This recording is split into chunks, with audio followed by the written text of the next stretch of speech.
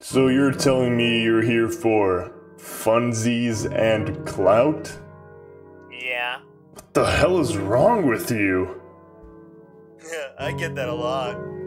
Can you stop pointing that thing at me?